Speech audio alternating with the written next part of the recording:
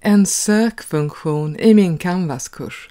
Åh himmel vad jag har längtat efter det!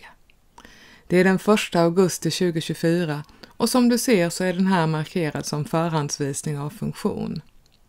Det betyder att den är under utveckling, men även om den inte är helt klar så vill jag visa dig den.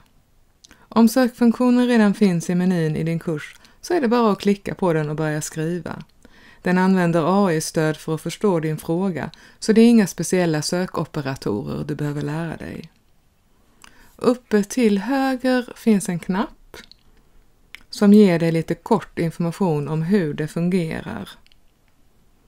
Här får du också information om vilka begränsningar som gäller.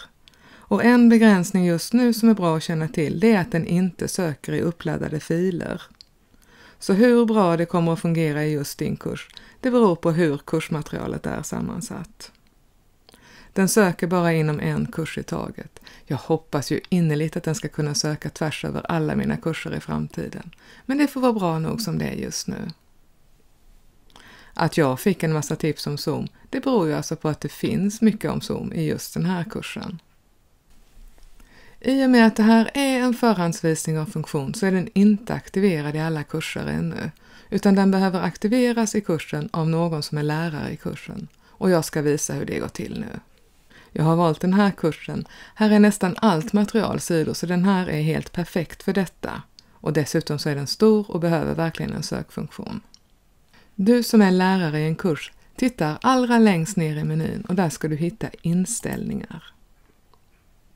Från inställningar väljer du att gå till funktionsalternativ och bland funktionsalternativen letar du upp smart sökning och så klickar du för att välja att aktivera den. Därefter tycker jag det är en bra idé att fundera över var i menyn den passar bäst, för det kan ju också vara olika för olika kurser. Gå upp och klicka på fliken Navigering och här kan du behöva ladda om sidan för att den ska visas. Här ser jag den nu. Och sen är det bara att dra den till den plats där du tycker att den passar bäst i kursen.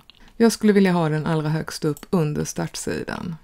Skulle du av någon anledning vilja att den bara ska vara tillgänglig för lärare och inte för studenter så lägger du den i nedre delen av sidan.